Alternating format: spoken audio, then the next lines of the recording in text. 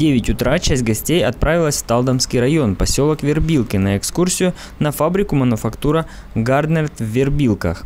Ее основал англичанин Франц Гарднер в 1766 году. Гостям рассказали об истории создания производства фарфоровых изделий, о том, как в лесу на пустом месте Гарднер создал фабрику, которая производила фарфор, не уступавший по качеству европейскому.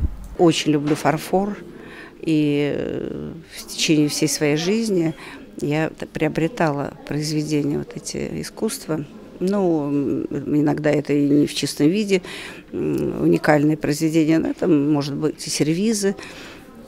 Вот вначале, конечно, э, это был английский фарфор, а, и какими-то отдельными предметами, отдельные предметы его привозил из Англии.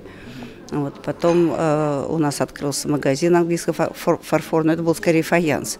Вот с красивым, конечно, узором ручным.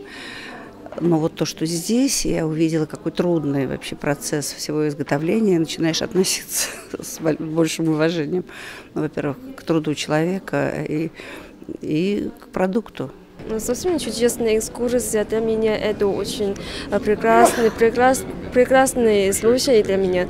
Такой, что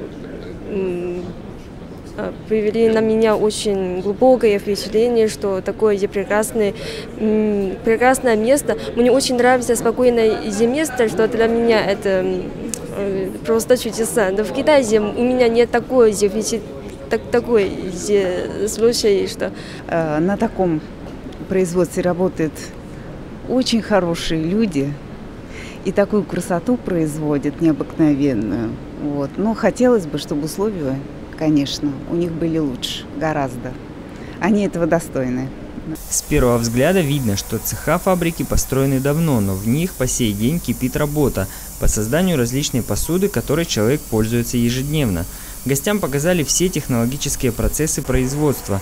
Большая часть их автоматизирована, однако без ручного труда не обходится. Есть изделия, которые на 100% изготовлены вручную. Мне очень интересно узнать вот эти вот мелочи, о которых мы и не знаем. Да, очень мало программ, которые рассказывают, а как это делается. И вот сегодня на этом заводе мы посмотрели, мы иногда возмущаемся в магазинах, почему маленькая кружечка может стоить так дорого, да? А когда мы видим, что ее делают вручную, ее, ее одну кружечку делают 20 человек, да, какой процесс глубокий она проходит, тогда, наверное, этот вопрос уже отпадает. После придания изделиям нужной формы их обжигают в больших газовых печах и отправляют в цех росписи.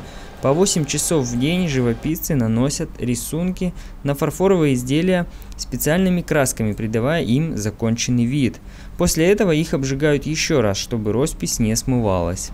При фабрике работает магазин готовой продукции, где все желающие могут приобрести чашки, кружки, блюдца, бокалы, супницы и много других красивых изделий из фарфора.